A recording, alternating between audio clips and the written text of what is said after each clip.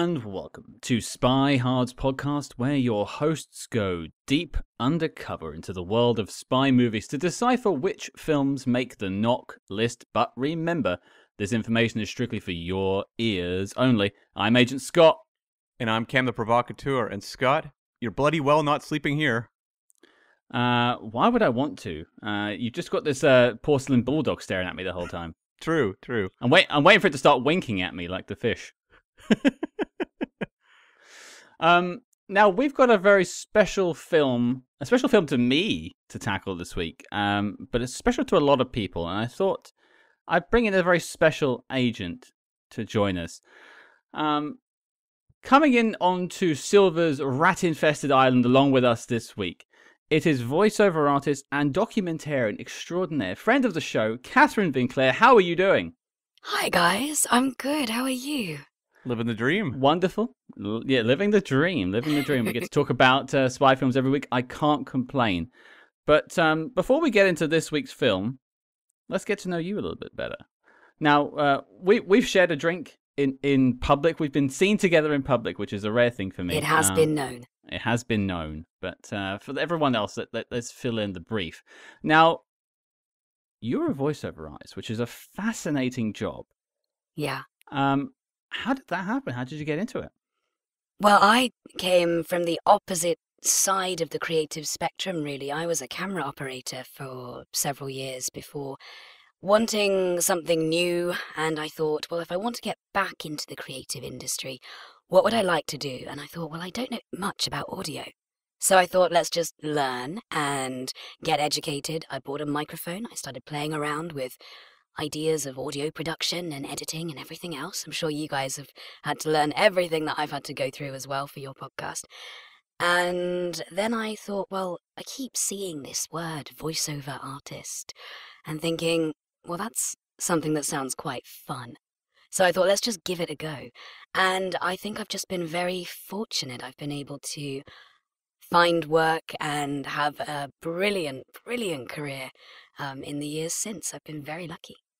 I mean, one thing listeners will probably notice is your very unique voice, which I think is probably a very good and key skill you've got when it comes to voiceover work. Uh, and how, I mean, I, I, suppose the information is out there, but you know, you, your voice is, as I say, very unique. How did that come to pass? I've literally always sounded like this. I've done nothing to deserve this voice, frankly. Wow. Um, I was born with vocal paralysis. So one of my vocal cords is paralyzed. So the vestibular folds, the little muscles um, that live just below your vocal cords, uh, have been doing all the work for me because my vocal cords just don't move. So it gives me this, this kind of raspy vibe to my voice, which I've just learned to work with within my line of of profession. Well, you play to your strengths, and I'd say it's definitely a strength because you know, looking at the work you've done so far, you've been bouncing from uh, your job to job, strength to strength so far. It's like it's endless. You're doing everything. You're like the busiest voiceover artist I know. How many voiceover artists do you know? Two. Exactly. no, but thank you very much. That it's the, the, the diversity of the industry is part of why I love it so much. I can be doing a, uh, a crazy video game character one day and a sort of upper class, sedate lady in waiting in an audiobook the next. So it's uh, you really run the gauntlet in terms of discovering what your voice can do. Hmm. And what are some roles that you're particularly proud of? Do you know, I think it's got to be this collection of roles that I did for a Warhammer game last year. Because normally, when you get pulled onto a project, you are asked to voice one character, maybe two. But for this, I did 25 different characters of different races, different genders, different backgrounds, and it was just the most fun you can imagine. Uh, we did them all in one go, where you're just going from line to line to line, character to character to character. Um, and whilst there will probably be one single role that encapsulates my whole career in the future, for the time being, it's just those opportunities where I get to do all sorts in one go. That's always really refreshing to me. Well, this is a, a perfect time to announce that actually, from this point onwards, the rest of the show will be voiced strictly by you doing all three parts. yes, I'm just a solid mimic. Yeah, it's it's fantastic. Yeah, it hasn't been us the whole time. Uh, we've been on holiday this whole time. It's fantastic. Yeah. Nobody knows. Um, now, the other thing I find fascinating, uh, I was doing my research on you earlier, is, and you mentioned about you know, working in in film uh, behind the lens with a camera. You went to film school, like you studied film professionally. Yes, yes, I have a degree in film production and cinematography, and it's lovely that you'd bring that up because no one really brings their degrees up. It's nice. Yeah, it was a long time ago now, but I, I, I just loved the opportunity to do exactly what we're going to do now analyze films, talk about films, discuss what makes them work. Um, cinema's always been a huge passion of mine, so it's just been lovely to study it and then work in it as well. And I suppose the last question before we sort of segue into this week's film and, and the reason you've joined us. And the one thing we I think we discussed when we were at the pub was a shared love of not only James Bond because we met during a, a showing of License to Kill, I believe it was uh, last year. So yeah, we've we've shared a Bond film already together. But um, just a love of firstly of Star Trek. So I'll always tip my hat to you for for being a Star Trek fan. Of course, yes, there's nothing finer. Quite right. Uh, but also just uh, you know film and spy movies as, as sort of a general topic. So uh, taking that into context, what are sort of some of your favorite spy movies? I'm actually a big fan of both versions of the Thomas Crown affair. Ooh. I think the, the, the differences between them are so stark, but I love them both. They're two completely different beasts. But I'm I'm such a fan of um of well for one the soundtrack to both is actually really exquisite. Um I think the original Thomas Crown affair just can't be beat. It's iconic. Um the atmosphere, the darkness, I I'm, I really appreciate it when spy films can somehow bring the reality of espionage, which which is terrifying, and the cinematic idea of espionage, which is sexy and a bit glamorous and a bit cool. Um, I think I think the best films really can blend those two things together. So like Condorman. Uh, maybe maybe not Condorman Cam, but, uh, but that does that does lead me to one final question. You you you do the voiceover roles. You do them fantastically. You love spy movies. Is there a role you'd love to play in a spy movie? Moneypenny, Oh, okay. a thousand times Moneypenny. I used to I used to dress up as Moneypenny when I was a little girl. I had these Harry Potter glasses, because obviously, to go with the gown. And um, I used to, yeah, I used to put on the glasses and pretend to type. This was before I'd learned how to type. I was just a kid. And yeah, and I'd just pretend that I was waiting for Bond. And he never came. That's so sad. Yeah, he's definitely not here now either. No. oh, one day, one day he'll throw my hat. He'll throw his hat at me, and it'll just be the best. No, I, I love Moneypenny. I think she's she's just wonderful. Her, her dynamic with Bond, for me, outdoes anything that any Bond girl has has achieved, and that's including Vesper. And uh, this makes this week's movie a perfect choice to have you on for then, because uh, Moneypenny does play a somewhat significant role. Just a bit. Some could argue she is the Bond girl of the film. Judi Dench would disagree with you. Yeah, it, it, it's out. We'll get into that. We'll get into that, Cam. Calm down. But it's time to think on our sins. Cam, what are we talking about this week? yes, Scott, this is a big one. We are talking about 2012's Skyfall.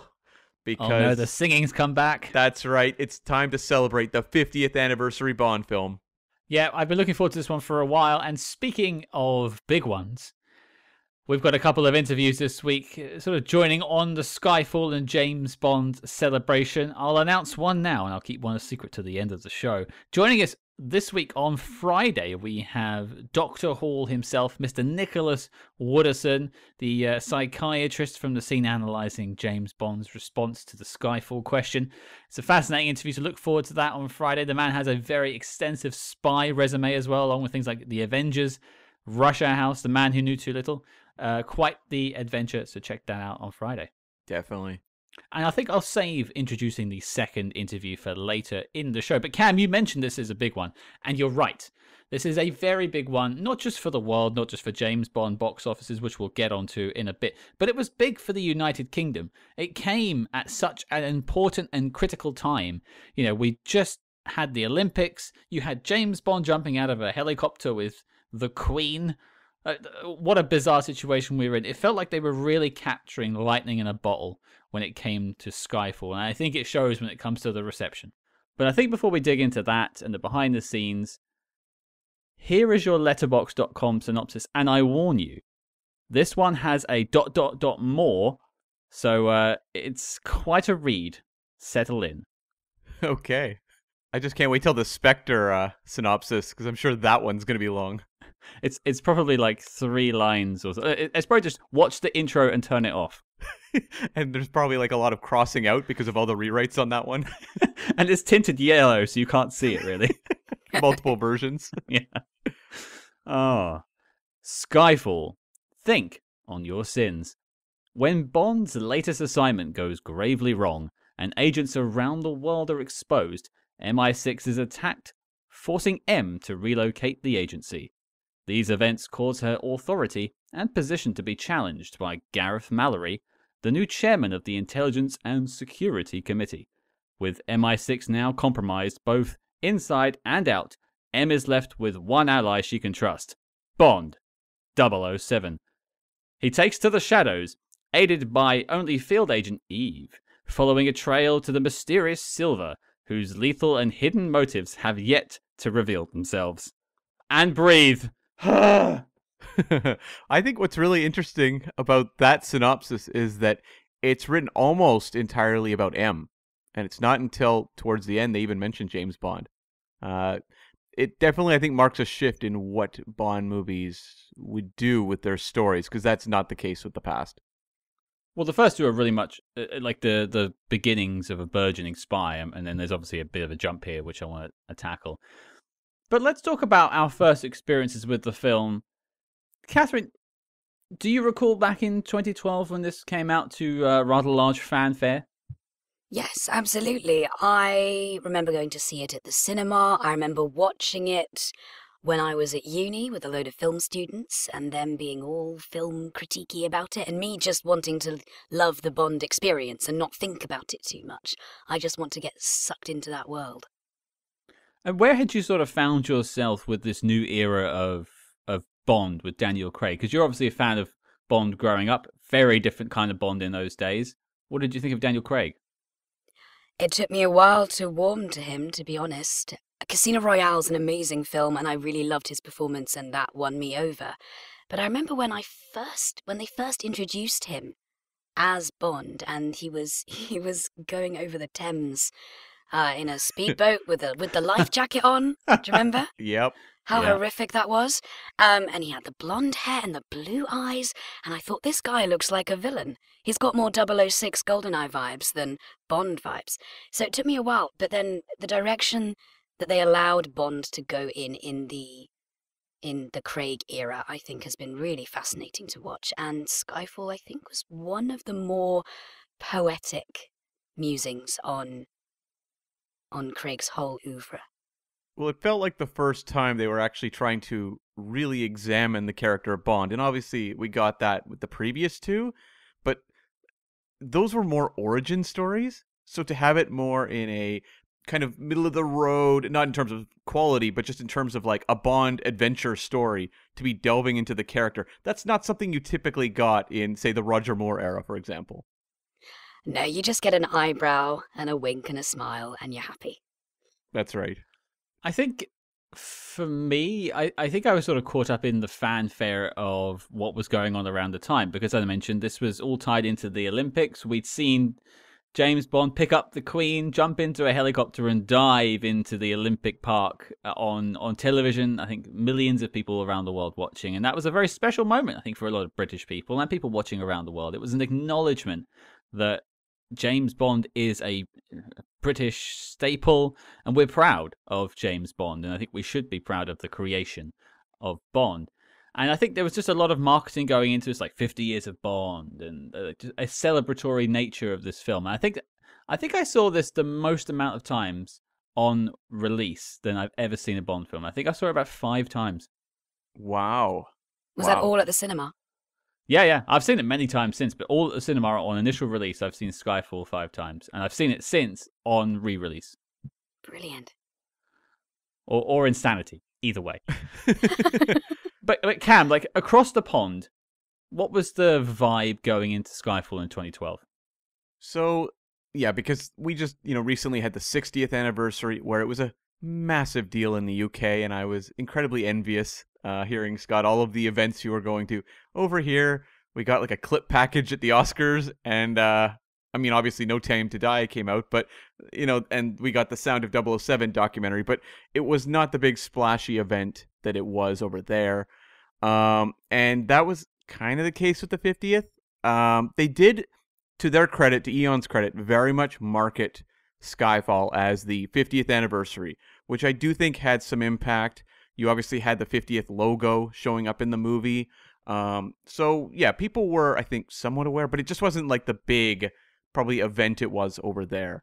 Um, and uh, for me, I'll never forget the night I saw Skyfall. It was, or the night before, I should add, because I, um, or was it the, yeah, that's right. Um, so typically around this point in my life, when there was big movies coming out, say it's a Marvel movie, a Bond movie, whatever, You went We by would- yourself because you were so lonely.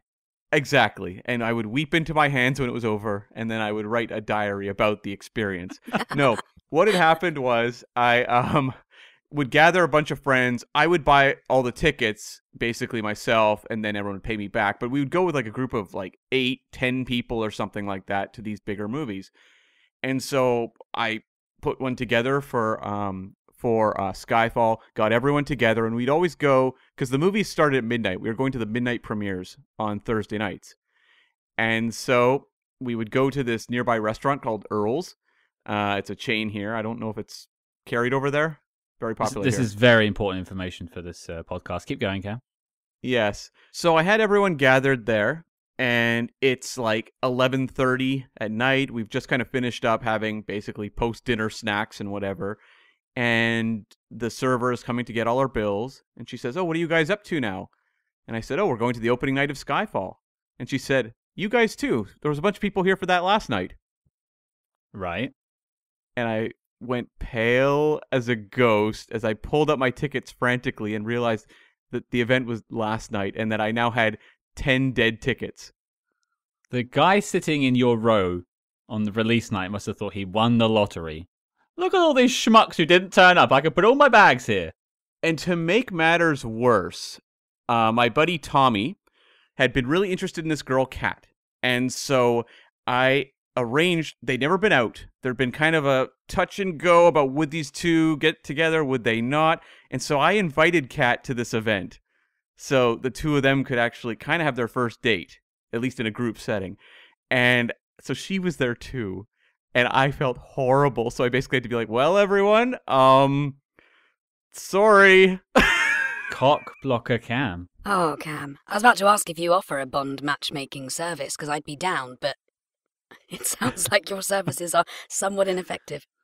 Well, I redeemed myself because I very quickly turned to Kat and said, Very sorry. Is there any chance you're available tomorrow night and we'll get everyone back together tomorrow night? And she said yes. And now Tommy and Kat have been married for several years and have two young boys. That's insane.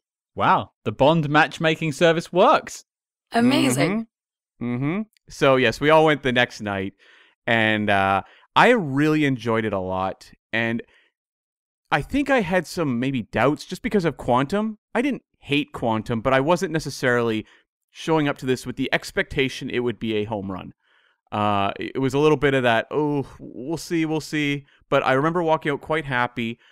Um, the Dark Knight elements that were very strong in the film definitely were jumping out to me at the time. And uh, I, I do remember the one little negative quibble I had was my friend Simon, who was another huge Bond fan who was there. I remember him and I afterwards just saying, I, I look forward to when these movies are really fun again because they're very heavy and they've gotten heavy since you know, Casino Royale. So it wasn't even like a criticism of the movie, more like I think the two of us aging Bond fans who grew up in the Roger Moore Brosnan era were kind of like, okay, these things are getting really heavy. I wonder if we're going to pivot this around. But that's really my main memories. It's interesting because I would say this is probably one of the most fun of Daniel Craig's. I think that says more about the tone of Daniel Craig's films, though. Sure, I, I, I, I don't think I, I had that reaction to it, and I think we'll get into the Dark Knight stuff because I don't think I've ever really drawn that distinction between the two. But we'll, we'll, we'll save that for a second. Um, the only other bit of background information I had about it, seeing as Cam is, is telling us a story about his uh, Skyfall dating app, um, is it, Skyfall in Love. Oh, oh, make that a web page right now, Cam. Lock it down before someone else does. Mm-hmm. Uh, this is a weird little anecdote, but you'll recall in the film you get a glamour shot of James Bond swimming in a lovely looking pool on the top of a, a tower. Um, well, that was a composited shot because that pool was never actually there. He swam in a pool in London, and that was cut into the shot. The pool belonged to the company I used to work for, and they uh, made a big song and dance about Daniel Craig turning up and being part of the shot and uh, it was on our intranet homepage for about a year. They were very proud of that. Um, so yeah, I, I, suppose our company was slightly connected to the film. Wow, Yeah. interesting. that's cool. I, I'm not going to tell you which company, but it rhymes with Virgin Bactive. Gotcha. hmm But I think before we can talk about what we think now in 2023, Cam, I want to know how did we go from the Quantum of Solace to Skyfall? Yeah, so they developed, started developing Skyfall immediately after Quantum of Solace came out around 2009. They brought back um, Neal Purvis and Robert Wade, who've been with the Bond franchise for quite a while and will be there going forward. And they paired them up with Peter Morgan, who uh, is probably best known now as the creator of The Crown, but had written films like The Last King of Scotland, The Queen, as well as um, Rush. Um, and they came up with a treatment called Once Upon a Spy. And that film pitch revolved around a past indiscretion of M's in Russia that came back to haunt her. And it would go down some very dark roads. It would end with Bond having to kill M, being forced to do so. And basically, they just didn't have a lot of confidence in this take. Um, I think later uh, Wade said he had misgivings about it and said that um, Peter Morgan was much more of a Le Carre guy than an Ian Fleming guy, and so it just was a much darker version. I mean, Bond has tried to go that way a couple of times, but I never think that the two styles particularly mesh very well. No, no. And it was really very shortly after this treatment was handed in that Sam Mendes was hired. And Sam Mendes, I think most people know who he is now, you know, Oscar winning, very acclaimed director, uh, movies like 1917, for example. But at the time, he was a very, or before that, he was a very acclaimed theater director who'd spent years in the theater, had won, you know, Tony Awards, worked for the Royal Shakespearean Company, and had directed actors like Judi Dench and Ralph Fiennes. So uh, very well known. And it wasn't until 1999 he really moved into Hollywood with American Beauty, which of course won Best Picture, Best Director, Best Actor. It was a huge, basically coming out party for this theater director moving into film. And he just went on and did stuff like Road to Perdition, which Daniel Craig appeared in, Jarhead, uh, Revolutionary Road, and this was his follow up to Away We Go. And I just have to say, I Hmm. really don't like American Beauty. I like American Beauty. I was less, uh, less, you know, content with uh, Revolutionary Road or Away We Go. I can't say I've seen either of those films. I just remember being like, this is one of the films you have to see before you die. Watch this bag float in the air for 10 minutes. I was oh. Oh, but it's so it's so tough to watch any film after you've been told it's one of the ones that will define your entire cinema going experience. That's true. Mhm. That's true. I, I, I should. That's without the paperback. That's, yeah, that is without the bag. Good point. And apparently, Sam Mendes, the way he got this job, not the story you hear from a lot of Bond directors. So uh, he was approached by Daniel Craig at Hugh Jackman's birthday party, and Craig was like, "Hey, would you like to direct a Bond movie?" And Sam Mendes said he'd never really thought about it, but yes, yes, he really would. He would love to make a Bond film. And he said it just kind of snowballed from there. I'm guessing Daniel Craig went back to Eon, said he was interested, and it just, yeah, Did he really say it like Oliver Twist, though? Like how you just acted it out? Yes, please, sir. Could I do your Bond film? That's exactly. I was actually just playing a recording there. That wasn't actually me. Well, this has all been Kathryn the whole time, so it's. Uh... Mm. Oh, exactly. Come on, keep up. And so once Mendes came on, they just scrapped everything and started over. Um, with really, I'd say the element of M having a maybe past indiscretion that came back to haunt her. I think that kind of stuck around, but everything else was out the window. And Mendes came in and he was very specific about what he wanted. He want, wanted the movie to be about Bond being lost and having to find himself again. He also wanted to bring back classic elements like a great villain. That was very important to him was the villain had to be along the lines of, you know, a Goldfinger, a Doctor No, like some of these icons. He also wanted to bring back a lot of the in jokes of the series, which the previous two had kind of stripped out, and also things like the DB5. He really wanted the DB5 back in there. Was that because it was targeted for the 50th anniversary, or was it more just because Sam wanted sort of the hallmarks, as it were? My guess is it was more because those are the Bond movies he loved, and it just happened to coincide very well with the 50th. But then does does that not imply that sort of I mean Marc Forster we could leave to one side for a second, but that Martin Campbell didn't have a strong enough sway to be like, hey, we need these things, whereas Casino Royale didn't have any of those things particularly, except for the DB5. Well, I think Sam Mendes has a certain amount of clout that Martin Campbell does not. I mean, Sam Mendes is coming in as an Oscar winner, prestige filmmaker.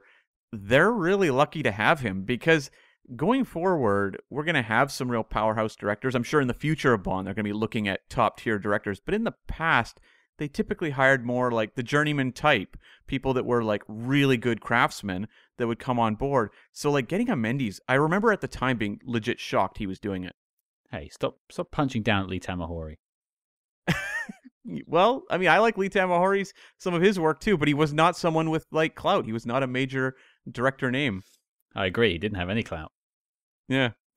And so um Mendes said another big element was The Dark Knight. He said that movie was instrumental in him wanting to do this because he just felt that was a complete game changer and he wanted to bring to this film what The Dark Knight had done for Batman. And I'll bring up some points about that later on. And the Broccoli's, it was very important to them that this movie explore the relationship between Bond and M. So you can kind of see that right from the beginning, people had pretty strong ideas of what this movie had to be about, at least thematically. It's interesting that there wasn't so much, well, I'm not hearing so far that there wasn't much pressure to be celebratory of the anniversary. It was more just they had to change direction from Quantum of Solace because I think the, the, feedback that that film got, much as we think it's unfairly sort of derided. Mm, yeah, I think that's right. And also, like, this production period was delayed by MGM bankruptcy issues. So they spent about a year on ice, unable to get a green light to start shooting this movie. And so it just led to them having lots of time to write this movie. Like Mendes said, it was just a luxury that they were able to refine everything before shooting. So when you're asking about the 50th anniversary, if this movie's delayed because of bankruptcy issues for a period of time, was it always going to be a 50th anniversary movie? Well, looking at the pace in which they brought the last two out, it was two year gaps. So theoretically, I imagine they would have thought they would have had the fourth one out by the time this happens. Yeah, or well, or be developing the fourth, because I would think if they're looking at a two year gap, maybe 2011 for this one. Sure, I, I think it, eh. I, I, think it's just serendipitous. Yes, totally. That ended up here. Totally.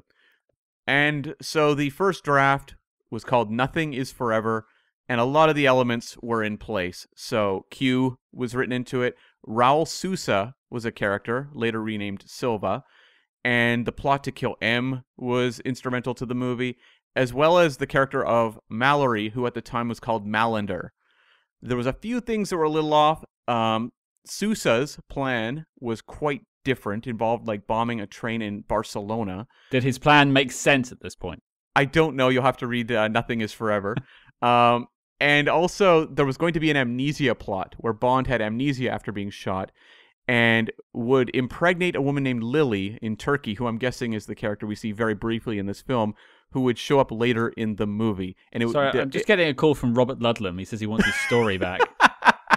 and it would also apparently um, echo Heart of Darkness by Conrad. Okay.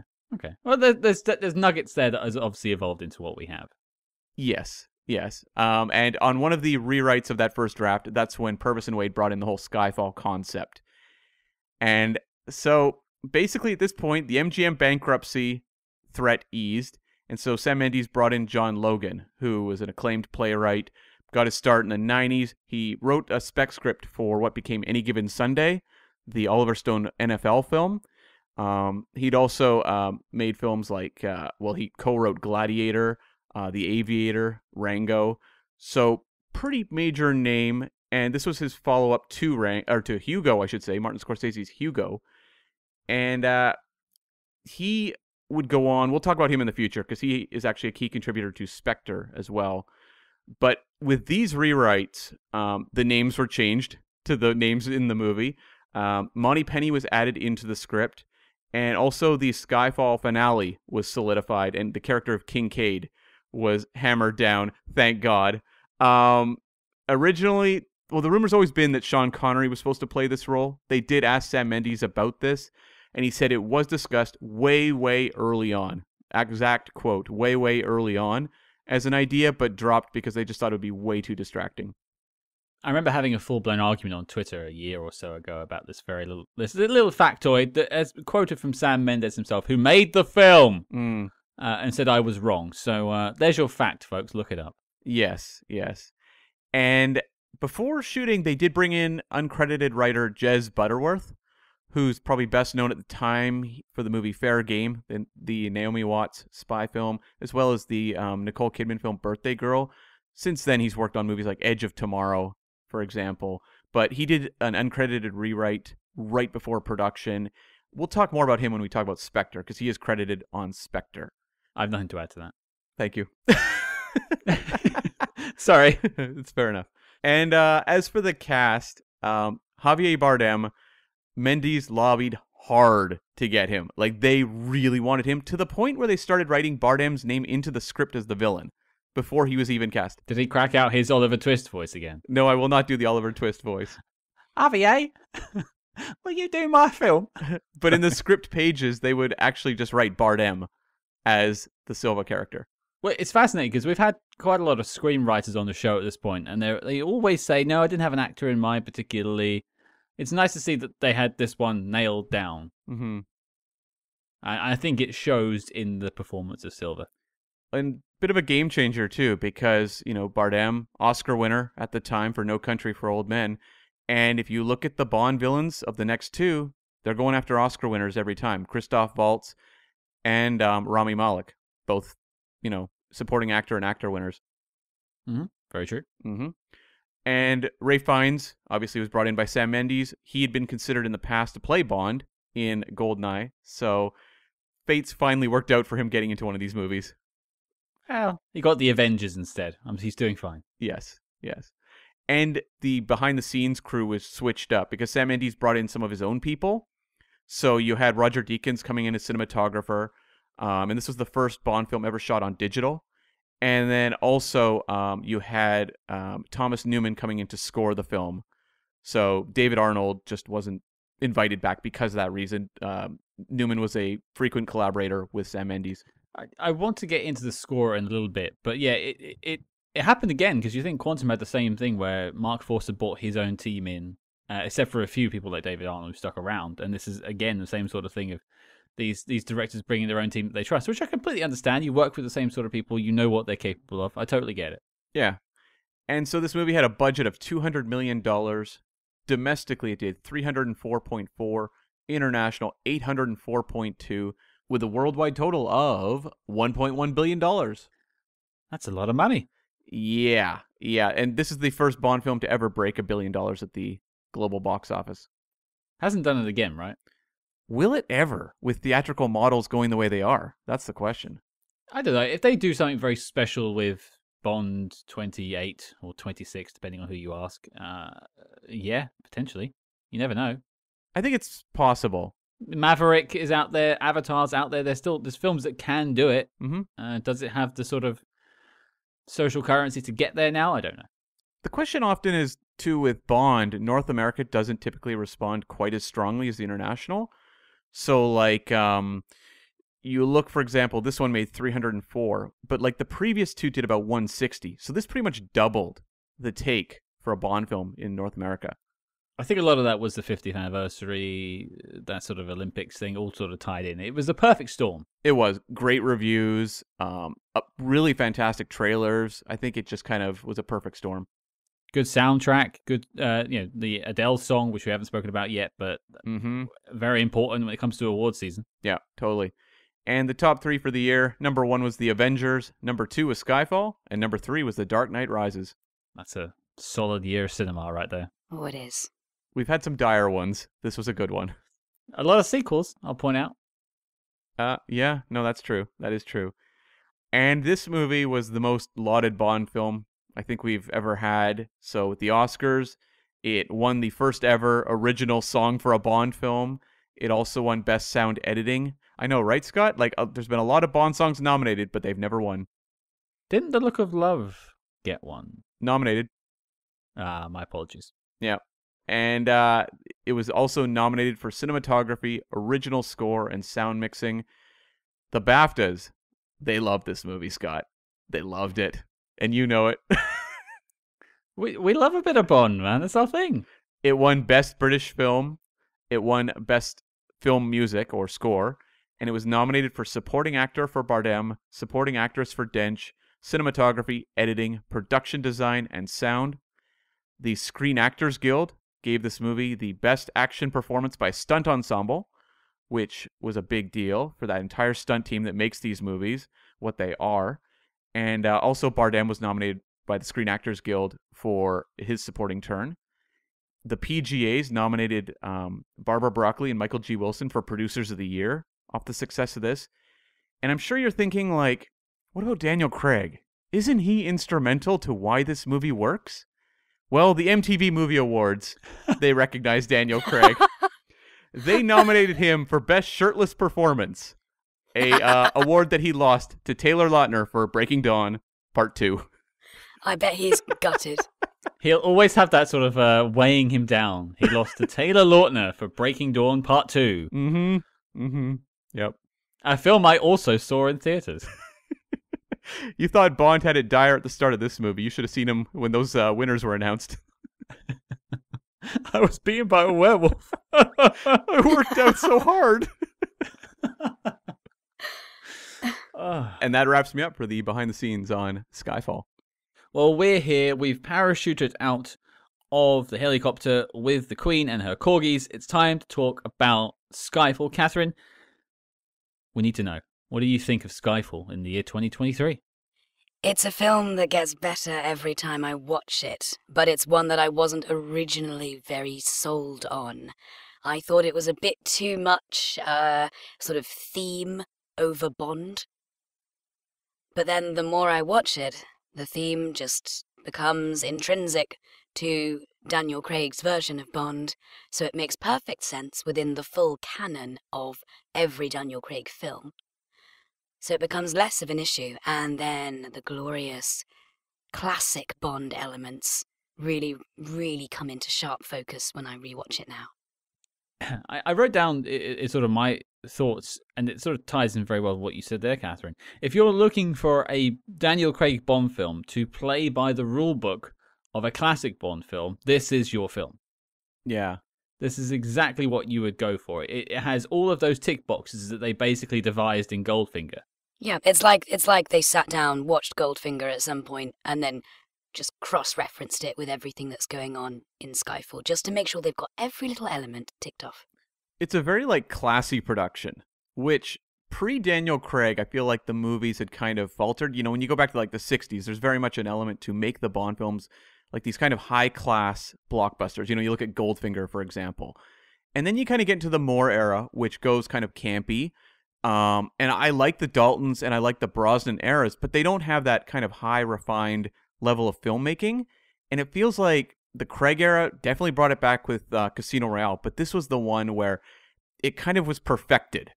It's like Casino Royale grabbed everyone's attention, but Skyfall was the one where all the elements just came into place perfectly to be that kind of perfect storm of a blockbuster. Well, I throw it back to you for a second there, Kathryn, before we talk about Cam and I's thoughts. Why do you think it's grown on you over time? That's such a good question. I think I love the fact that this entire film is essentially about what we love most as Bond film fans and as Bond book fans. All those elements that we love about Bond, he is fighting to preserve throughout the entire film. And he is within this context of uh, an MI6 that is questioning if the double O's are even worth it. So I love that it's a film about preserving what we, the fans, love about Bond. And he is fighting to continue to bring the the traditional elements back into his modern day. Which is kind of the perfect. I said the perfect storm earlier, but I'll, I'll slightly rephrase it. The perfect, perfect recipe, perhaps, for it being the 50th anniversary of Bond. Again, it's that lightning in a bottle moment. They've crafted this script to talk to Bond's history whilst also dealing with Bond's personal history with M in the film. There's a lot going on here there's probably quite a lot of deep analysis you could do about this film, which don't worry, we're not going to do here. You never expect deep analysis from us. It also feels like one of the the best examples of the creators asking the question and then answering it as to why the world needs James Bond. Because it's the sort of thing that's brought up constantly with this franchise over the various decades. There's invariably reviews that are like, do we really need these movies anymore? And we had Goldeneye, for example, kind of interrogating the character and saying, what does this mean in the 1990s? But I feel like this was probably the best example we have of building an entire movie around who James Bond is and why he's important. Absolutely. But eh, Cam, it, it seemed like you weren't as sold on it when you saw it the first time. What do you think about it now? It wasn't that I wasn't sold. It was more that, like, to me, so much of the hoopla around the movie was like, this is the greatest Bond film ever, uh, quite possibly, or at least the easily the best Daniel Craig. Whereas I always preferred Casino Royale. So it wasn't like it was a I don't like Skyfall. It was always like I didn't see it as the be all end all of James Bond. I, I think there's other examples that also belong in the high plateaus as well. It wasn't a you know, like when Dark Knight came out, it was like, this is the best Batman movie. And it was hard to argue with that. Mm-hmm. Whereas I feel like with Bond, there's much more of a conversation that existed at that point in time with the release of Skyfall. Which which makes sense. I, I, I think I mean, we'll probably tackle this question when we do our Craig roundtable down the road at some point. But I, I, think there's an argument to be made for Casino Royale or Skyfall being the best. But I think it depends on what you want from your Bond film. Yeah. Hmm. Definitely. Yeah, and uh, for me, this one, I think, when I look at the various Bond eras, there tends to be like a definitive Bond movie of the decade.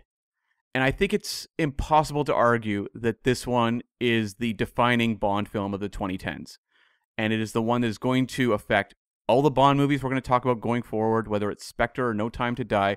They're all existing within the shadow of this movie, the way that in the 60s Bond films were with Goldfinger, or even in the 70s a little bit with Spy Who Loved Me.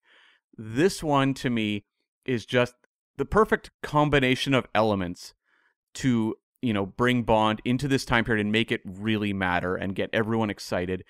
I think it has one of the series great villains. I think Bardem's work as Silva is just top tier. I remember in theaters being very aware of the popular trope of the villain who's captured, and that's all part of their plan because we saw that in The Dark Knight with the Joker, but we also saw it that's, you know, the previous summer with Loki in the Avengers.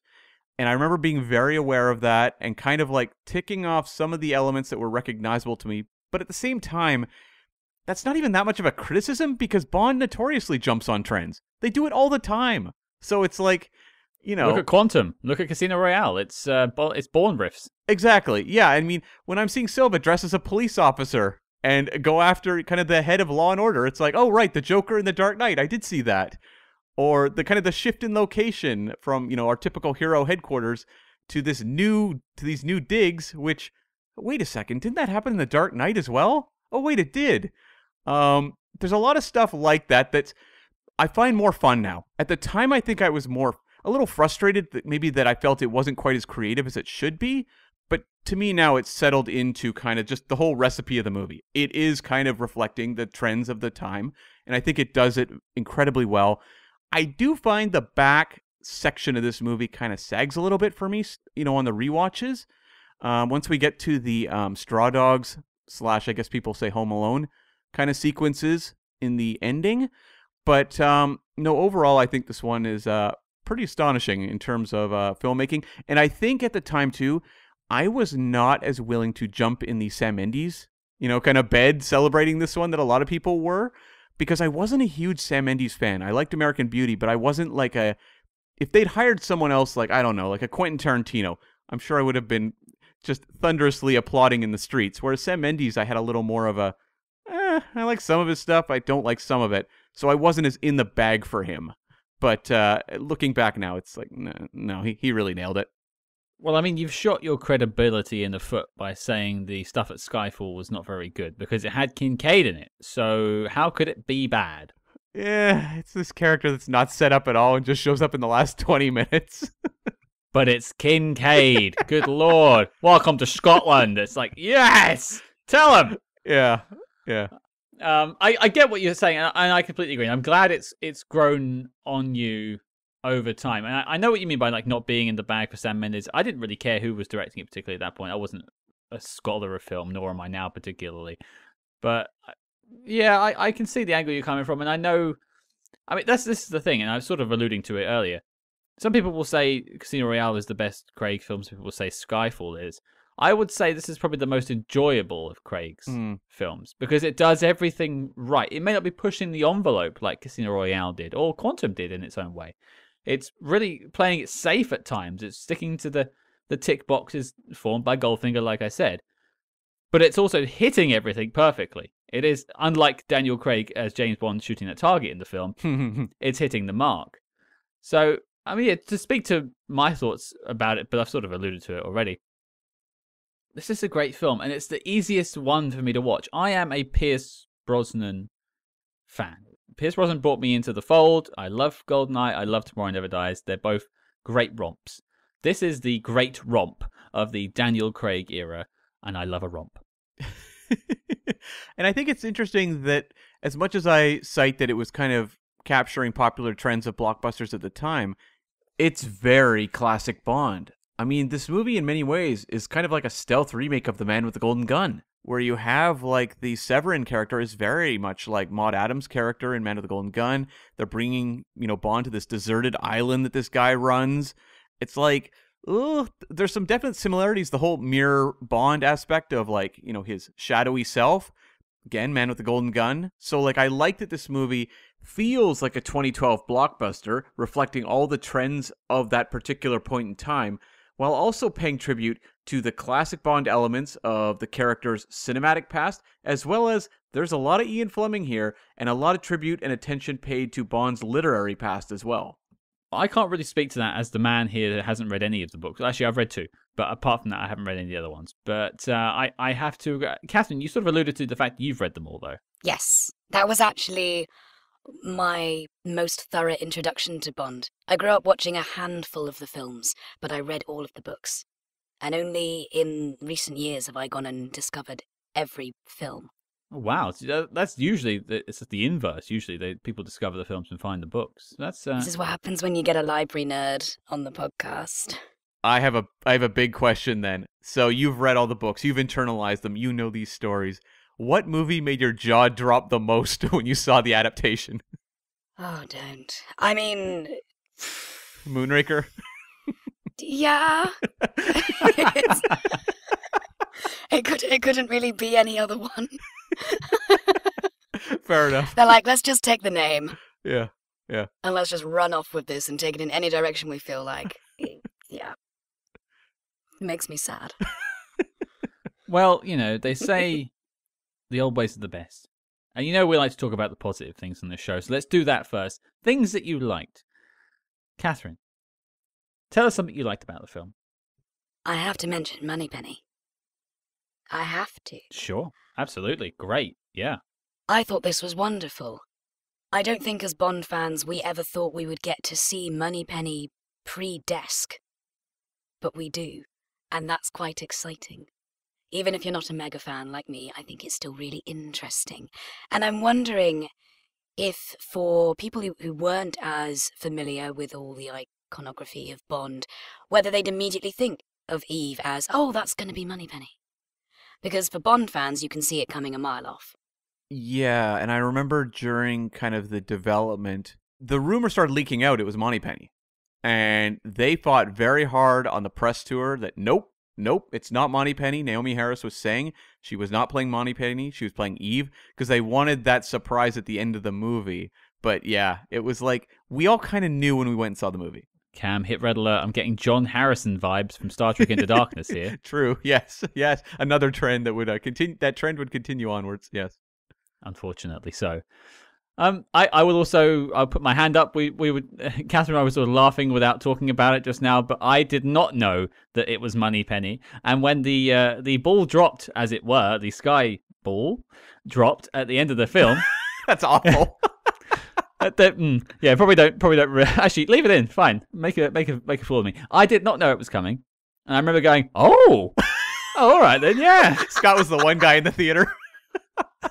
I, I was clapping. I was like, "Yeah, yeah, I like that twist." Sorry. you were doing that point at the screen gif. Yeah, I invented Yeah. that. Uh, Brad Pitt stole it from me. Yeah. Um. Well, Cam, what about you? Something that you liked? I mean, I feel like I kind of have to lump everyone together and just say like all of the supporting cast of this movie bring everything so to life. I think like Mendes, while I've been mixed on his past work, a great director of actors. And I'm sure that comes largely from many, many years in the theater. But you look at the work he's getting out of Judi Dench, Ralph Fiennes, Bardem, um, Naomie Harris. It's like everyone's on the same page and he's working hard to make every performance matter. Every character matters in a way. And I think there's like a low key element of this one that's very important, which is building this movie around M, which Mhm. had never really been done before in a Bond film. And it's not heavy handed at all. It's very subtle. But the way that he makes Silva's entire mission about M is the sort of thing that when I said this was kind of the definitive Bond movie of its time, of that decade, and I do consider No Time to Die kind of a 2010s movie because of the pandemic and all of that sort of thing. Like that movie probably would have come out, you know, at the end of the 2010s if things had gone correctly. You look at what they do with Madeleine Swann in that one, where she's the target of Safin the entire time. It's elements like that that I think were so important in Skyfall and so well pulled off. But it's like you just go down the supporting cast. It's a murderer's row. You know, like you look at the Bérénice Marlohe character of Severine. Imagine what that character would have been in like even like a, you know, Brosnan movie or a Roger Moore movie. It would have been a throwaway character. You would have maybe had an iconic moment or two because typically they're very good at capturing iconic moments with, you know, various Bond actresses, but it would not have been this. Well, she's Paris Carver, Sure. Yeah. and that didn't get the best ending. No. Uh, no. Or, nor did Maud Adams playing, you know, Andrea Anders, I think, in um, The Man with the Golden Gun. Yeah, great point. and like the tragedy and i always look at that scene with severine where she's talking to bond at the casino and he mentions silva and her hand like does that slight tremble and i'm like holy Mhm. smokes like there's an attention to detail that mendes brings working with all of these actors that is just top tier I, I'm glad you brought that little quiver up because I think that I, I noticed that again today and I was like, oh, that's such a nice touch. It's subtle. It doesn't it, like the camera doesn't zoom in on her hand. It's just like, oh yeah, you see that. That's good. Um, but I, just speaking to the Silva point, I think that's important to dig into just a little bit there. This is Craig's strongest villain, mm-hmm. and it shows. They casted right. Obviously, they knew who they wanted, but they casted right for the role and it's someone that could go toe to toe with Daniel Craig. Not to to sort of talk against anyone that's come before, but I don't think I don't think they they just, they just don't equate to this. They just don't live up to this level. i think like mads mikkelsen is pretty darn close but he also doesn't have the movie's not as interested in him as this movie is with Mm. Silva and the way they're thematically tying Silva into it. You get a big payoff. Whereas like Le Chiffre being kind of shot, you know, unceremoniously by uh, you know, his, these people he's crossed. Eh, it doesn't have the the denouement that like this movie does, where it's like it's carrying it beginning to end. And I think there was an a certain aspect of them wanting to strip away Bond elements with the previous two, and I think that really impacted the way the villains were treated. And this movie's saying, no, no, the villain is the big show. Uh, well, Kathryn, what did you think of Silva? He is in my top three villains. Depending on how I'm feeling, that shifts. I think he's exceptional. He is gleeful in his in his role. He's a villain who's so self-aware, and I love that he tries to use Bond's perceived heteronormative ways against him by Mm. flirting with him as a as a fear tactic at the in in their first meeting. Um, and then he's genuinely terrifying. Oh yeah. Yeah, it, like that scene where he pulls his sort of jaw out again took me by surprise in the theaters, and I was just I, I was not expecting that to happen. I love that they save that reveal for quite far down the line. We've had several scenes with Silva before we see that sort of physical affectation to be something that makes him extra frightening. There's a level of like horror to that moment that I just remember being unprepared for when I saw it in theaters because you typically just don't get that sort of moment in a Bond film. And just the way that plays off of Judi Dench and what she's put her agents through. Like you I feel kind of bad for Judi Dench because a lot of the focus in the movies came from mistakes she'd made that came back to haunt her, which did not you didn't get those sorts of stories with say the male M's in the past, you know, the Bernard Lee or the Robert Browns, but those movies also weren't interested in M, and I am glad that they did that a little more in No Time to Die with Ralph Fiennes. I'd say giving M's character a chance to redeem herself, to Mhm. stand by her principles, uh, gives gives M such a such a depth that we've not been allowed to to see with M before, at least not to this extent. The line "To hell with dignity, I'll leave when the job's done" is delicious. And and she gets to shoot a gun. yeah. She gets to make explosives out of light bulbs. Yeah. Yeah, like you get to see. Uh, I mean, people always talk about, hey, it's Q in the field. We get to see Q with little Nellie. Woohoo! I we get to see M in the field and kicking ass. Well, she misses, but she's still kicking ass. She does the old light switch thing. Women firing weapons in this film don't don't do very well. That is true.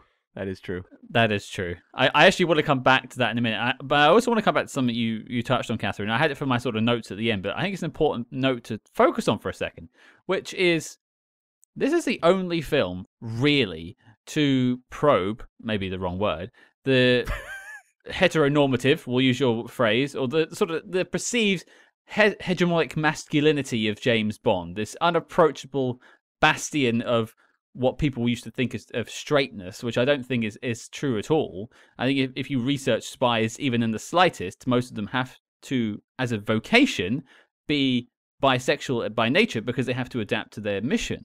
So I, I love that this film takes a beat, just a beat, to sort of go, hey now, what makes you think this is my first time? Mm-hmm. I think that's the first time I ever applauded during a Bond film in the cinema when when that line came came through. I, I couldn't believe that they were daring to take it in that direction, and it made so much sense.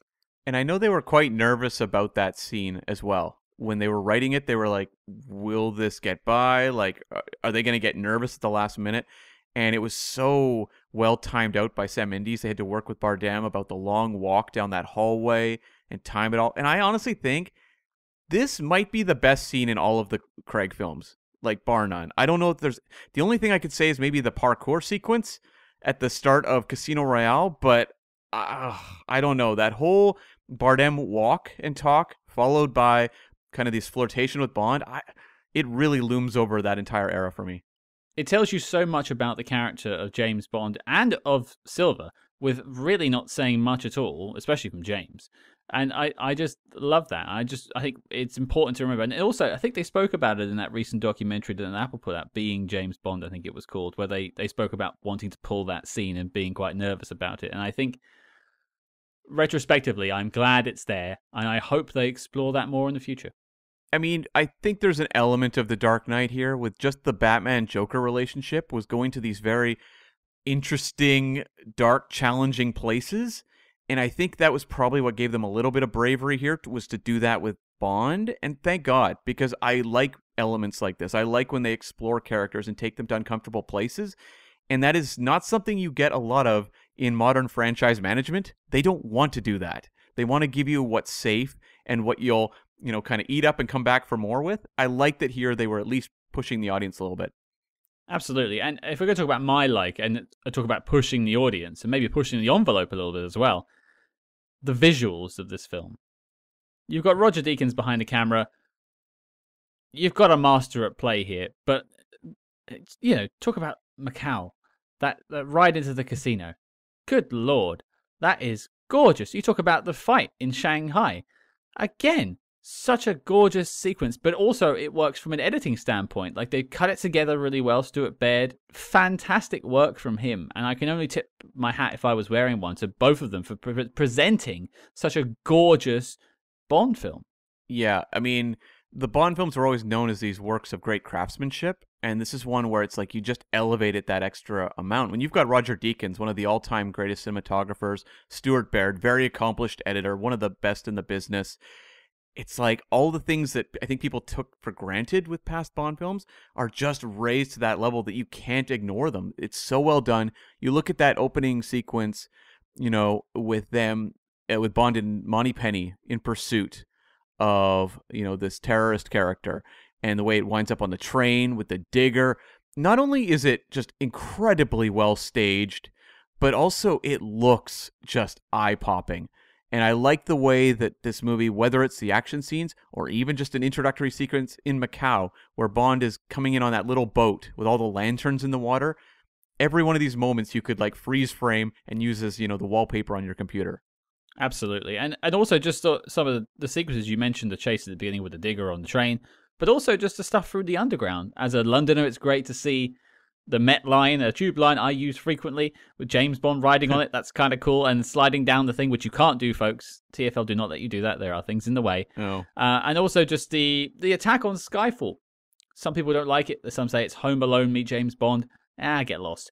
It's fun. It's action based, but it makes sense. Uh, maybe Javier Bardem's mission doesn't make sense, but it looks good too. And I just think it's some wonderful stuff. It's very moody, and I remember when we talked about the Mackintosh Man. There was What a that pull! shot of like, what a pull! there was that shot of like the burning building in the background when they're out in the uh, Mm. the Highlands, and there's a shot in this movie that's just as beautiful, if not far more so. So what you're saying is Roger Deakins had been watching the Mackintosh Man before he made Skyfall. I pray that he was. Oh I man, pray that he was. that that's that's that's a post this week on social media. You can damn well bet. Um, Yeah. But speaking of damn, let's damn this film a little bit and talk about dislikes, things that we didn't like. There got to be a couple of things, some nitpicks for sure. Kathryn, we'll go to you first. Something you weren't happy with with the film. I'd like to touch upon the shower scene. Yep. Mm, yeah, that was in mine. I want to give it the benefit of the doubt. I want to say she likes him. I want to say she's doing this because she is just as in control of the situation as he is, but she absolutely isn't.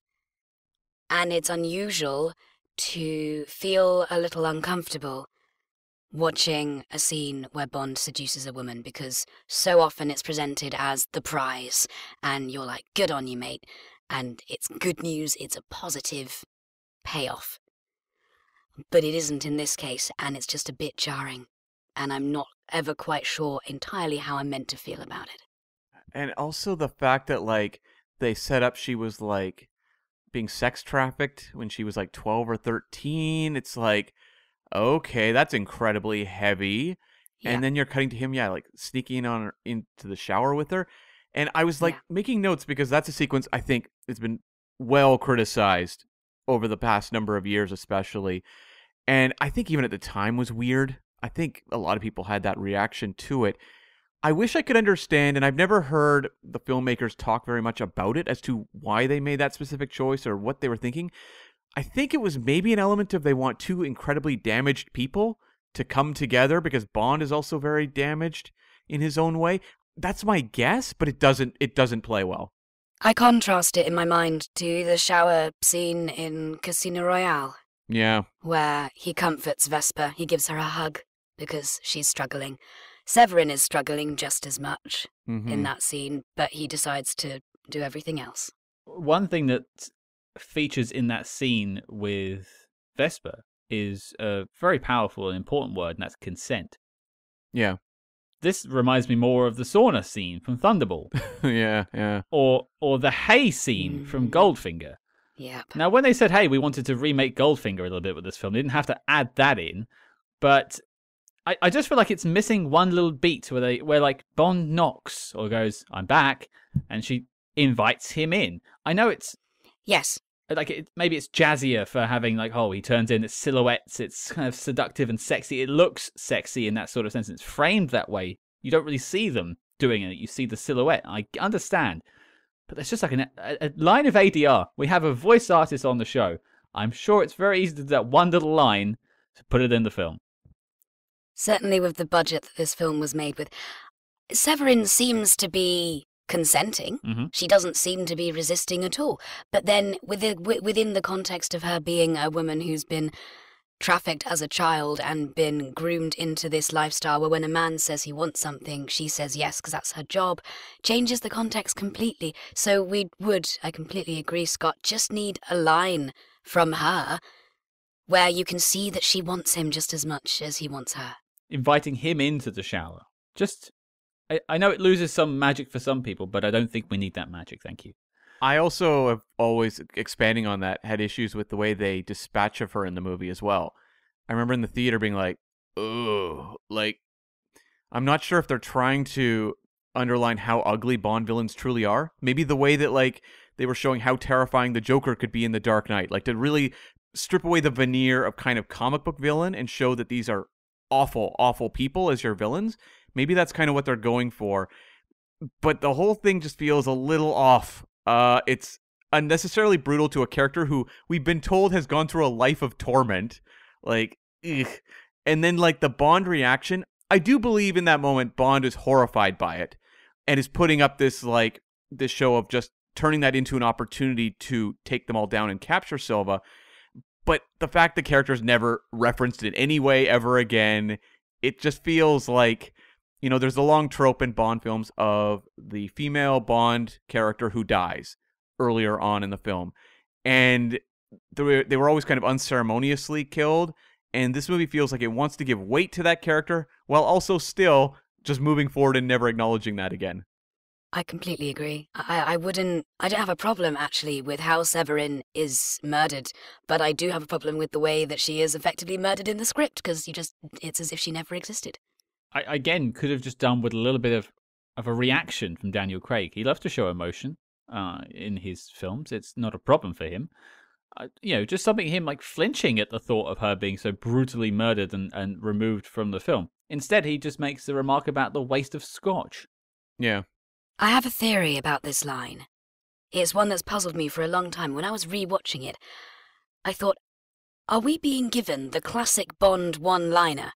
But now it's been recontextualized into a scene that is just brutal. So that when Bond is trying to fall back on his old ways of, oh, I'm, I'm just going to say waste of good, waste of good scotch, that as an audience you're not laughing. It's not a wink. It's not a Roger Moore eyebrow anymore. It's, oh gosh, real stakes, real emotion. Like the audience winces. Yeah. And they see that like Bond uses these jokes as more of a defense mechanism than as a, you know, waka waka audience. Yeah, that's just my theory. I think it's hard to know exactly why that line is in there. That's the closest I can come to making sense of it. No, no, it, it we have to we have to find our own way to sort of figure out why they do these things because yeah, we can take questions to filmmakers whenever we get a chance, but I don't think we're going to speak to Sam Mendes anytime soon. And I do feel like Sam Mendes is a very particular director. So he would have had a very specific reason for wanting to do this. And he's just never been very vocal about why. Because I, I don't think he's someone who just kind of is trying to make his days. like, shoot the sequence, yeah, good enough, let's move on. I think he has intention behind a lot of what he wants to do and was working, as I said, with the writers for a prolonged period of time because of the MGM issues. So, like, they were really refining everything on the page. So, it may even be a case of what they came up with on the page just doesn't quite translate when you put it on the screen. Possibly, uh, it's it's definitely one of the scenes. Both the scenes with Severine are, are ones that people talk about afterwards as as as clunky, maybe misjudged. So I definitely agree with that one, Kathryn. But uh, Cam, what about you? Something you didn't like? I think for me, I'll just uh, mention the um, some of the stuff in the back section once we get to um, the uh, Skyfall area. I like the Skyfall location. I think it's really cool to go back to Bond's backstory because typically Bond has been kind of a static character who we don't explore in depth. Um, I like that he has a little bit of a Bruce Wayne story about being traumatized as a child and going into like a cave for a couple days and then emerging out as the character we all know and love. You really are like drawing these lines between this and The Dark Knight, aren't you? you? Are you just a big Batman fan? Should we be doing a Batman podcast? I am a big Batman fan, but I mean, I, the elements are really strong. I mean, really, you didn't have to wear the cowl to the recording. Well, I'm actually wearing the Robin one, to be fair, from '66. and the speedo. yeah, but for me, the back half of this, I think the issue for me is that the movie loses that propulsiveness it had for so much of the movie, and I think like Silva's plan, it's questionable. It's a little bit of the Joker thing of I'm insane, but everything is just planned down to the finest detail, including this explosion in a wall where a train's going to come through at the perfect moment. I can kind of look past things like that, but when I get to the end of the movie, I feel like part of the problem is Silva's plan is kind of over. And so you don't kind of have this driving force through the finale. And then, you know, they're introducing stuff like the um, Kincade and M using flashlights in the dark. And it's like, oh God. Like they're just trying to get to that finale moment of Silva and M in the church together, which I think is incredible. Incredible moment between those two actors when he's holding the gun to their both of their heads and has stuck with me since the first time I saw it. But I feel like it gets a little messy during the Skyfall section and it just kind of drags down the energy for me. So you just kind of want them to get to the fireworks factory, to borrow your term. Or maybe they just needed to somehow work that in a little more organically than feeling like a almost like a fourth act or something. Okay. No, I, I, I've seen that criticism online before. It's not the first time I've read it. I, I, I find it to be a, a fun diversion in the film. I think you've had all this massive action chase through London and the, sort of the underground and the briefing hall, and then you get a moment to sort of reflect. And they travel up, and you hear a little bit about his upbringing, and you get to be with Kincade, which is the best thing in this film. Uh, Albert Finney, you know, MVP. absolutely. Bourne Ultimatum, I think. Yeah. Yeah, yeah, absolutely. Great guy. Wasn't he Bourne's dad? Uh no, he was the head of the Treadstone, Yeah. I think. You're right. He, he was like the guy who programmed Bourne, I think. Yeah. Yeah, okay. Less good than that one. But no, I, I like hanging out with this. I know what you mean though. Like there's there's bits included with like, hey, go through this little nook to get to the moors, and then there's like stuff on the ice. It's just going through the motions to get Bond to the church so you can have the final showdown with Silva. Do we need it? Maybe not. Could we bring this film to two hours? Maybe.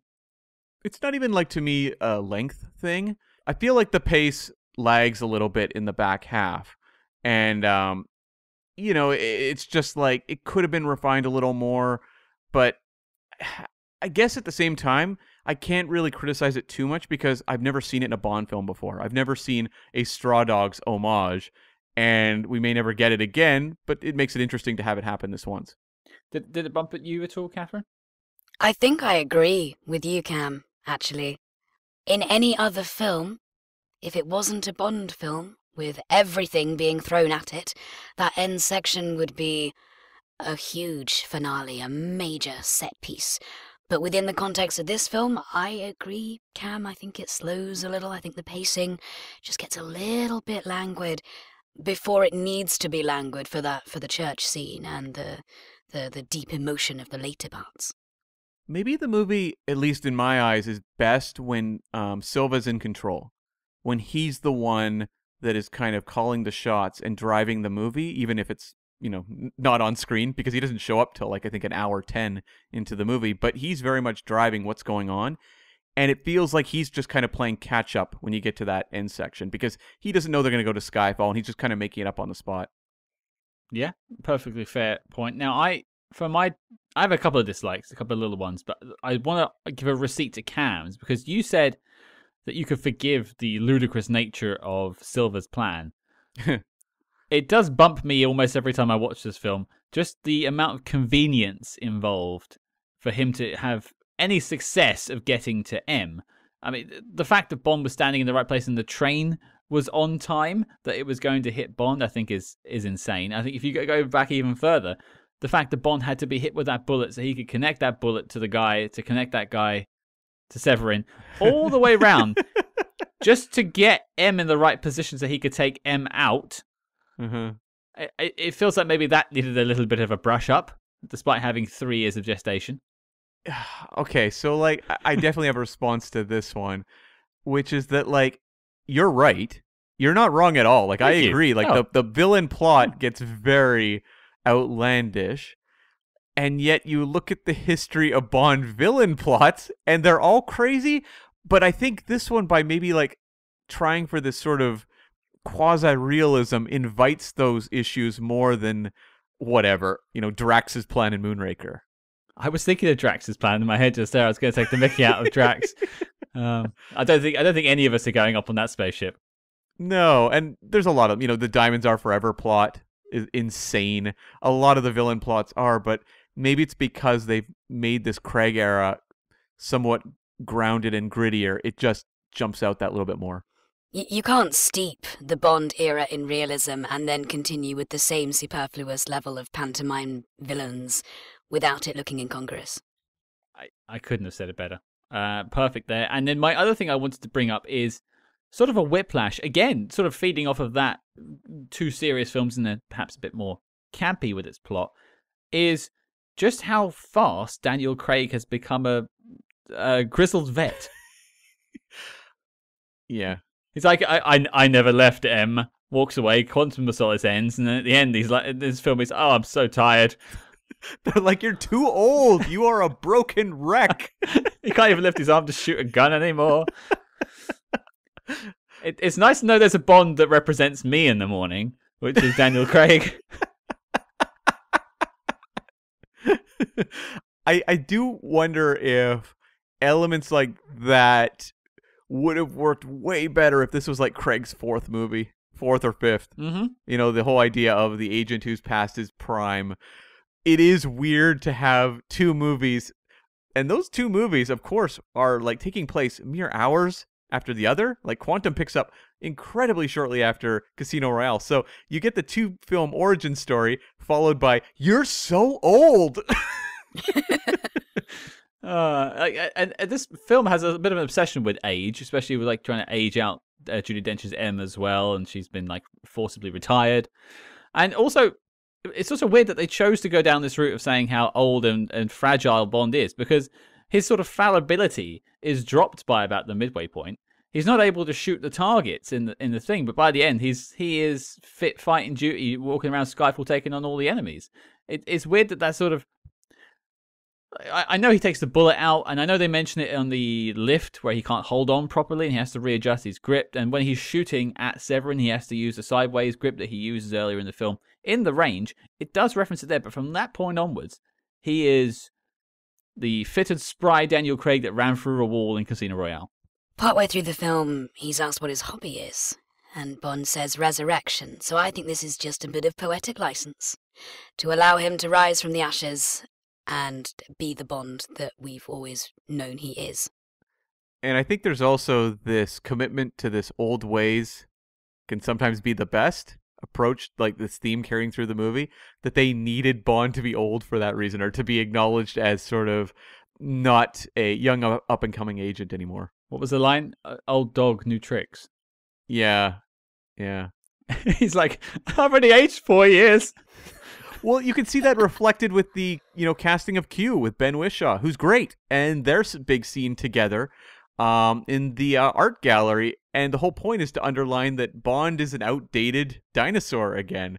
Um, maybe that's just a thing. It, you know, you look at we didn't comment that much on it, but when um, Bond showed up in Goldeneye, Pierce Brosnan was what like 36 or something like that, and they're like, "You're an old misogynist dinosaur," and it's like he's a dinosaur at 36 oh my god, what does that say about me? I've got a year to go until I officially become a dinosaur. Woohoo! That's right. Yeah, yeah. We interrupt this program to bring you a special report. Calling all agents. Independent podcasting, much like the spy game, requires considerable resources, whether it's research, equipment, hosting, or of course constructing a top secret volcano lair. We're putting out the call for your support. That's right. As you may know, we've activated the SpyHards Patreon, home of our ever growing lineup of Agents in the Field episodes where we decode non spy films from your favorite spy actors and full film commentaries with more intel than a Basil exposition briefing. Cam, what have we got in our crosshairs this month? Now's the time to catch up on our February programming with reviews of Lara Croft Tomb Raider, Rio Bravo, and The Dead Pool. Did Clint close out Dirty Harry in style? We'll tell you. And if that sounds delicious, then become a true spy hard today and join the circus at patreon.com slash spyhards. But before this message self-destructs, Cam, resume the spy jinx. Um, other than that, I think I I could chuck some some grenades at sort of the dodgy composite work at certain times in the film when when the motorbikes are driving over the rooftops you know you could see it's daniel Yeah. craig in pinewood probably with his face put onto someone else's uh, but that's just how films were at the time i don't really throw shots at sam mendes for that one I feel the same way about the Komodo dragons, having the CG Komodo dragons, where I'm like, I get it. Like, you can't work with Komodo dragons. You just can't. They are so. is, this, is this previous experience there cam I used to be a Komodo wrangler in my previous life before I was a podcaster. Ca- cam camodo Do you know why Komodo dragons are so dangerous?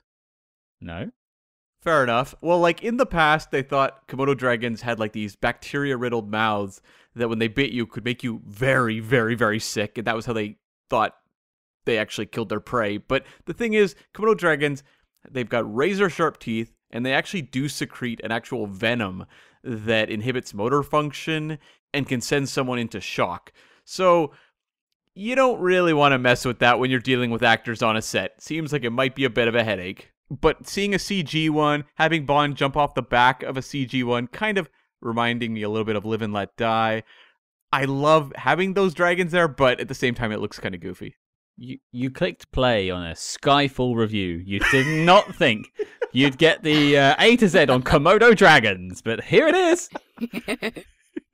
I do like Bond pointing in horror and being like, "What the hell is that?" when you see it come out of the into the darkness. Yes, when he's been he's been lifted up by the bad guy, and it's it's it's very Roger Moore that moment.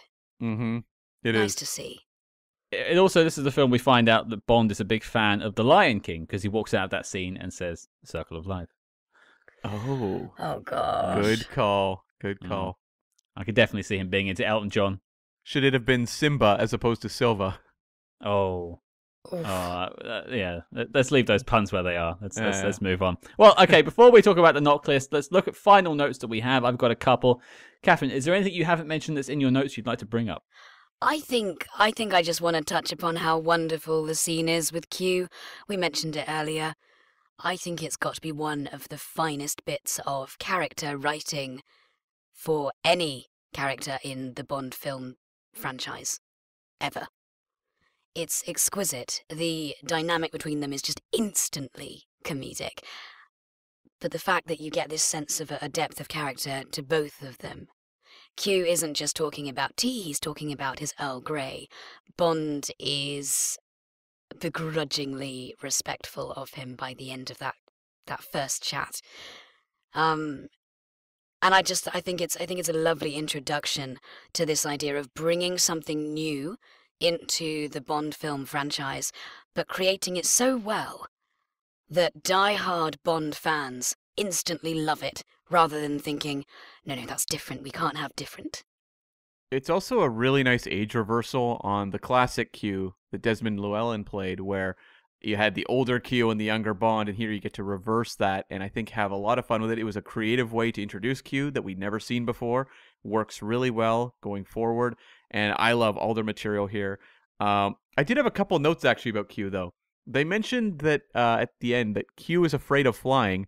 He obviously conquers that fear by the end of No Time to Die. Um, Yeah, I saw that. But yeah, yeah, yeah, yeah. And the one bit I know a lot of people groan about, and I think we, we would be remiss not to mention, is um, Q plugging Silva's laptop into the MI6 headquarters. I know it drives people crazy.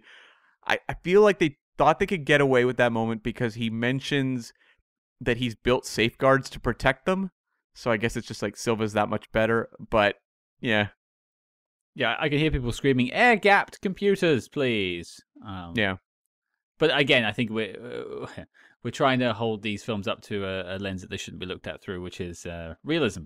Yeah, it's Bond. Let it be ridiculous. Yes. I did just want to say about Q, I loved that scene too, and I loved just the use of the painting as a way of framing their conversation and you know interpreting this painting. Bloody big ship, uh, completely different. I I just think that's a lovely way of bringing Q into the fold. It really is, yeah. And speaking of classic characters, one of the things I uh, wanted to mention as well is just an exit for Judi Dench. I think her death scene is incredibly effective. I think Craig plays it perfectly, and I, I think like some people, you know, have quibbles with killing off Judi Dench, and I completely think that's valid. If you didn't like that decision, I guess for me, the reason I was always a little more accepting of it and really liked it was that we never got finality on the M character ever. Mhm. you know, Yeah. like Bernard Lee passed away and we didn't really get a mention other than chief of staff filling in for one movie before we had Robert Brown take over. I mean, I don't know what the future of Bond holds, but if they go with full recasting everything, Ralph Fiennes won't have gotten a finale to his character. So like the fact that they recognized the importance of Judi Dench's contributions and built like a emotionally affecting scene about the passing of an M, I think is pretty significant. Again, the recontextualization of something that we know from Bond and we love from Bond, the little two way quips between Bond and M, in this scene is so poignant. 007, what took you so long? It's stunning. It makes me a little bummed that they brought back that little snippet of her in Spectre because I'm like, this is the moment. Like, walk away and leave it all on the field in Skyfall. And uh, Scott, you and I saw the same thing happen with Nimoy in Star Trek 2009, and then coming back with a video screen moment in the follow up to that film. It's like, walk away, people. Walk away. Know when to walk away. Why are we we're, we're doing two red alerts in one episode? That's uh, that's not good news. Well, I guess so. I will just say though that that was fixed in Star Trek Beyond because you get that lovely moment with the picture. That's true. That's true. Um, something else I noted was just the character of Patrice. We haven't really mentioned him, played by Ola Rapace, who typical, you know, villain character that Bond has to pursue at a certain point just to get to the next stepping stone. But the physicality of the actor doing, you know, the train fight with Craig is incredible. Um, and that fight in front of the screens in um, in Shanghai is one of the most beautiful action sequences in the history of Bond. I'd never seen anything like it when I saw this movie, and I've you know mentioned throughout this review several things you can spot that feel like they've take, been taken from other popular blockbusters of the time. I've never seen anything like this fight sequence in front of the screens, and to me, there's more big bombastic action in the Craig era, but this particular fight scene really looms over a lot of the era for me. It's one that always ends up in the montages. Yeah. It's definitely a very uh, visually arresting moment that they will always go back to and say, "Look what the Craig films did." This lovely scene, and I completely agree. It is lovely. I, for my two notes, I had two left. One, we haven't said much about Adele, Mm-hmm. and I think obviously, you know, we spoke about the awards she got, and we I think we've all sort of commented on the song being very good, but it is fantastic. It's I don't know if it's Craig's best. I, I still have a soft spot for Chris Cornell, personally speaking. But of all the songs out there, this is still the one that gets the most radio play, at least I notice in the UK. And it's one that I think transcends being a quote unquote Bond song and becomes a good song that plays on the radio. I think uh, um, not many Goldeneye gets some love. I'd say All the Time in the World gets played quite a bit, but it's it's it's in those sort of ones that sort of broken out of the of the bubble. I would say like View to a Kill. Nobody does it better. Um, and I I tend to hear nowadays For Your Eyes Only a lot for some reason. Is it just because you have it on a loop on your Spotify? That too. Yes. Hmm. Um, and my other note was, it's more of a question that I'll throw out to everyone. We've seen a bit, a few Bond films by this point do some nostalgia. On a Majesty's Secret Service, there's a bit of nostalgia. Uh, Die Another Day does some nostalgia. This is the 50th anniversary. Is this nostalgia in a Bond film done right? Yes, I think so. It's holding nostalgia in reverence rather than seeing it as something to be glossed over or to be replaced. It's giving it the gravitas it deserves, and something that I think really unites Bond fans is just the love of the old stuff. I think it does it as well without. I don't want to say overdoing it. You think of what happens in Die Another Day, where they just throw it all at you in like the space of ten seconds. And say, hey, look at all these things. You- Remember that? Remember the shoe? Look, he's holding the shoe. It's subtle. The car is there. He's wearing the same coloured suit as Sean Connery. It, there's there's subtle nods, and I think this is where I think uh, not necessarily overtly works, but subvertly like it works in your head, and you feel connected to it through these subtle nods. Well, it feels like organic to the story they're telling. There's very few of these homages where they are stopping the movie dead to kind of point and be like, "Look, look, you remember that?" Because you can, you know, we mentioned the Komodo dragon sequence. You can say, "Well, that's Live and Let Die," but it's not like the movie stops dead to, you know, Sheriff Pepper does not pop up, or you don't suddenly hear the score kick in from Live and Let Die in that moment. It's all there, but it works within the context of what Skyfall is. The only thing I think you can point to where it's like, I think Mendes was very classy in the making of this movie. Um, but I think the one moment he could not help himself was the DB5. And so I understand anyone who's like, that's a little bit far when you're getting the eject button, um, you know, callbacks and whatever. But I just think, you know what? I'm willing to forgive this guy because the choices are so consistently well baked into the movie throughout. If he wants his one geek out moment, go nuts, Mr. Mendes. What I love about the Aston as well is that Bond has an Aston that's clearly been made for a for a Bond or a previous Bond, however you see the universe. It's got the ejector button, it's been specially made. He hasn't just gone to the local Aston dealership and picked one up. He's got one specifically that's designed with all of these gadgets in mind. But it's not a company car. Yeah. and it's something that he's owned privately. So he's just got it because he thinks it's fun and he likes it when it's got all the buttons. I, I I'd love to think there's a universe where uh, maybe his Bond, Daniel Craig's Bond, or whoever version of Bond brought this car, uh, came back from a mission said, "Oh, it's a total write-off. You don't want it back. Just just do the form, get rid of it." And he's like, "I'm going to keep this car and put it in a shed." Was that Kincade's old car? He seems the type. Yeah, yeah. Are you saying Kincade was a spy? He seemed pretty comfortable shooting guys down with a shotgun. And he did. Uh, he did also do the uh, the favorite line from this film about the always being the best and throw the knife down. Mm-hmm. Mm-hmm. Mm. Prequel? The, the Kincade Chronicles. Yes. Write it. Someone write it and uh, and and cast uh, and cast Kathryn as Moneypenny. Yes, please. Oh, yeah, yeah. Please. I'd be so good at it. You could put me as someone that gets shot. I'll take that. I'll be the Komodo dragon. We'll CG you in. they should have done like practical animatronic Komodo dragons, right? No, You don't think so? Mm. Okay. no. I, I think it would just look. It, it might work, but the money it would take to build that, I'd rather they just do a, a passable. s- It's cheaper to build animatronic than it is CG. really? Yeah. Yeah. Mm. I would have gone with the blend like Jurassic Park. I, I'm sure they were like, we have X number of days to shoot this sequence. We're not spending two months building Komodo dragons to please Cam, but nonetheless. I want to see a re edit of that scene where every time they cut back to a little Komodo dragon, uh, it's it's just this hastily made sort of cardboard, Blu Tack, paper mache creation. With a with a badge saying for Cam. a voice going, roar. I, I want it in the style of uh, Roger Moore and the Snake in Live and Let Die, where it's clearly just a bit of rubber that he's wrestling in the water. mm, mm-hmm, mm-hmm. Mm. That- That's how I'd like my Komodo dragons. Thank you. I had a final question, I guess, for you guys, which was just what are your thoughts on the Thomas Newman score? Because Bond scores are so important over the many eras. Does this one jump out to you, or is it a little more? ooh, I hesitate to say wallpaper, but a little more uh, easy to maybe overlook. I'd say it jumps out.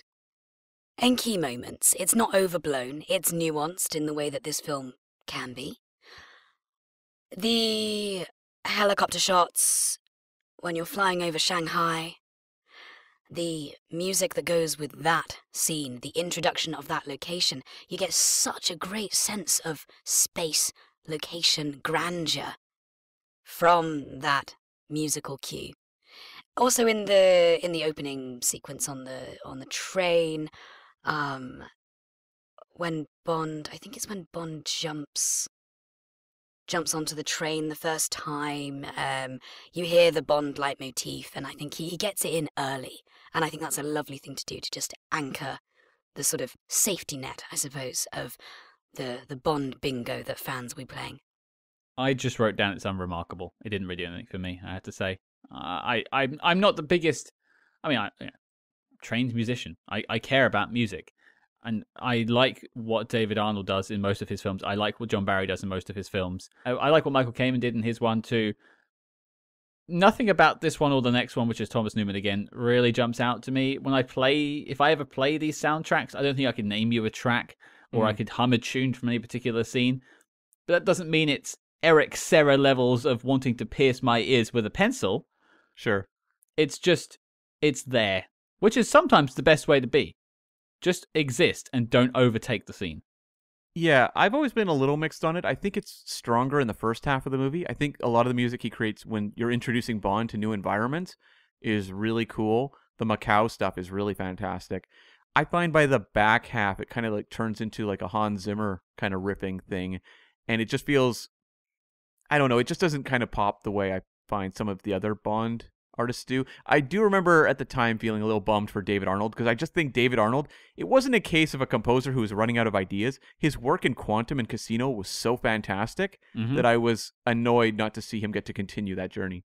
Yeah, which I, I think is another conversation for another day of how they Yep. drop a lot of threads from Quantum and, and, and Casino leading into this. I think that's maybe something we could dissect when we get to Spectre, which really messes with the continuity of Daniel Craig.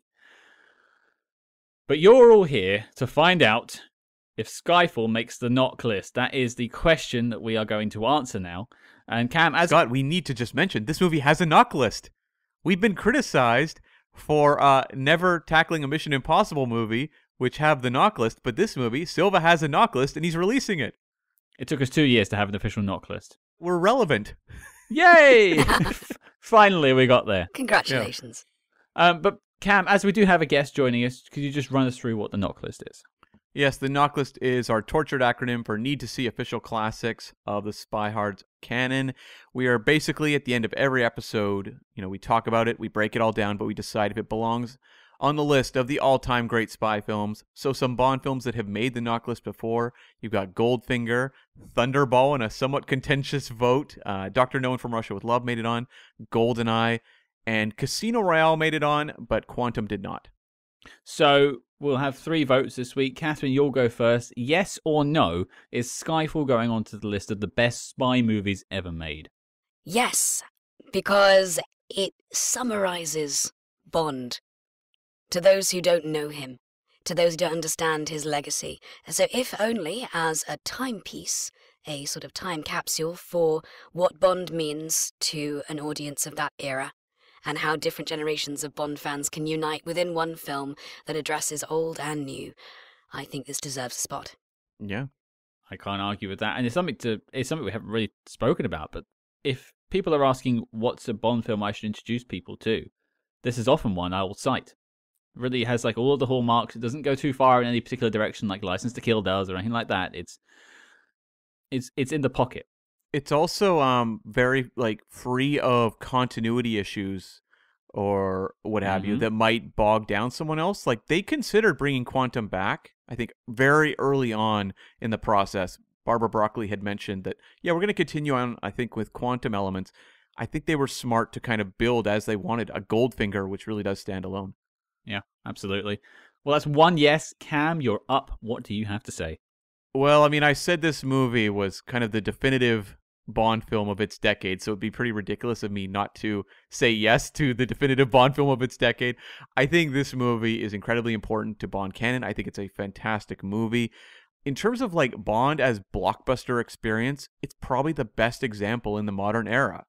Um, I even in the Brosnans, I love a lot of the Brosnans, but I don't know that they ever had kind of the the high hits that this movie has. This really is working at the highest possible level of blockbuster filmmaking, and uh, and just pulls it off so like so sleekly. And I think one thing that maybe we haven't addressed is like the legacy aspect. This is the 50th anniversary movie.